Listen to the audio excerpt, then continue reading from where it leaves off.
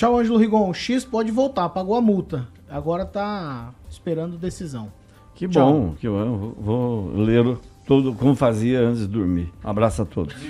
Tchau, você usa o X também, Edivaldo? Não, não, pois é. O menino lá teve que recuar. A lei prevaleceu. Eu só espero que ele seja responsável no uso da, da rede de forma correta. Só isso. Bom dia a todos. Tchau, Fernando Tupan. Pagaram a multa e estão cumprindo os requisitos, Tupan, para a volta do X. Tchau pra você. Pois é, Paulo Caetano, será que o X saiu fora de moda nesse período? Acho que não, só deu mais força pro uh, Alan, Elon Musk continuar vendendo. é, como que fala em português? Dish é, é- Ah, esqueci, eu sei falar em inglês aqui, não sei falar em português, Paulo Caetano.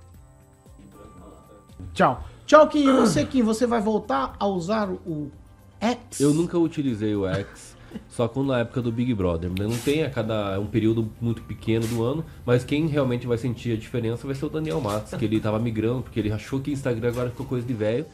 E aí é pro X, que é, É por coisa isso que eu mais, deixei no- ele por último. mais de novinho. De Por novinho com cabelo branco, O olha lá. o que, que é Olha o X? novinho Estão dele lá. ó. falando, da Xuxa? Não, é.